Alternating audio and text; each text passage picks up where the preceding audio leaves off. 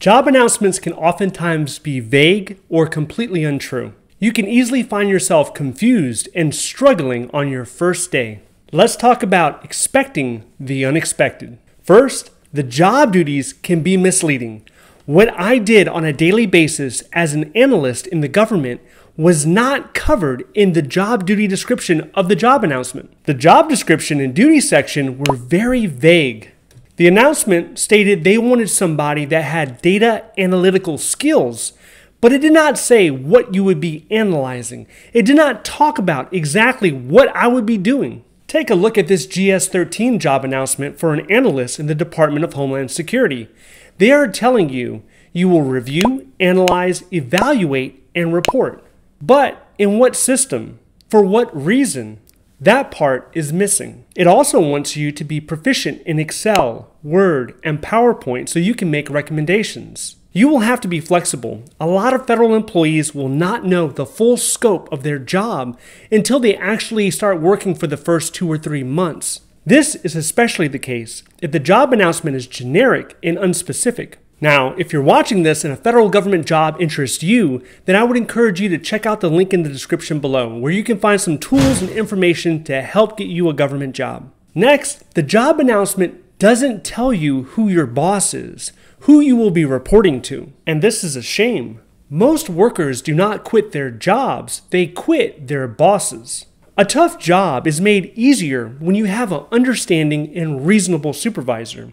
And an easy job can easily feel like hell if you have a micromanaging, aggressive, unreasonable supervisor. Now, you won't know who your supervisor is until you actually get to the interview. And even then, if you do not take the initiative and ask, who does this position report to? then you might not find out until your first day at the job. If you do end up with a toxic supervisor, then you can always hop back on usajobs.gov to start applying for another position. There is no minimum amount of time that you're required to stay in the position before you start applying again. Next is you do not know what the office tempo will be like, how hectic and busy you will be on a daily basis. Now, there are some government jobs where you'll have a lot of time to accomplish your duties. In fact, it seems like you have more than enough time. Other government jobs will have you running around crazy. One thing that comes to mind is the Office of Chief Financial Officer. If you hear the acronym OCFO, that's what I'm talking about. Working in that type of environment could have you working on 10 different tasks at once.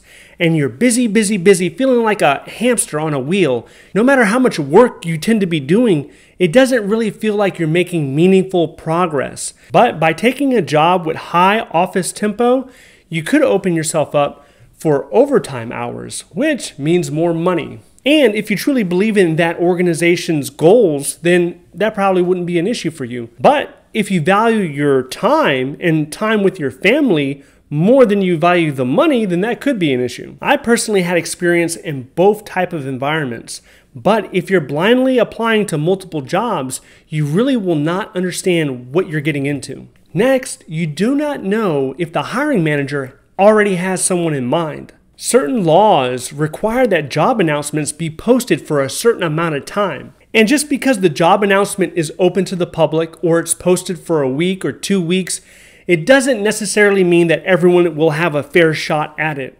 There are times where the hiring manager does have someone in mind. Understand this once HR sends a certificate list to the hiring manager, then it is up to the hiring manager to look through that list and pick who they will interview. On that list could be a familiar name. It could be someone that's already working in the office, a known quantity, somebody that the hiring manager might have preference for. So they will select that person. And there's not much you can really do about this. And there's a lot of people that come complain to me saying that they can't get a fair shot, that USA Jobs is rigged against them. What you need to do in this type of situation is you keep applying. Even if you know that someone that was less qualified than you got the job, do not let that discourage you. Do not get hung up on that. Work on your resume, work on applying, keep applying to the positions that you know you're qualified for. Eventually, you will get picked up, you will get that job, and you will start working as a government employee. Next thing is, you don't know how many people applied for that job announcement. Some job announcements, they only receive a handful of applicants, maybe a dozen or less.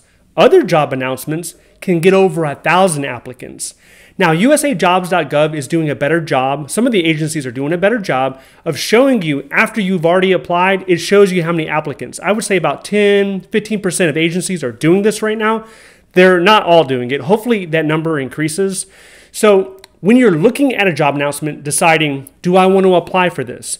You're not going to know upfront what the competition is. And some people are saying, well, it doesn't matter how many people apply. If you want the job, just try to get it. And I agree with that to a certain extent. But if you saw two job announcements and you only had time to apply to one, and one job announcement shows eight people applied, and the other one shows 1,500 applied, which one do you think you would have a better shot at? At the end of the day, applying for jobs is still an investment of your time. Despite all the smoke and mirrors a lot of people continue to have a desire to be a federal government employee. This is largely because of the benefits and perks that this type of job can offer.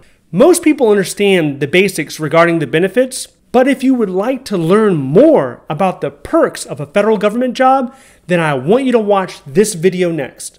If you would like to see more videos like this, please click like and subscribe. Thank you for watching, and I'll see you in the next one.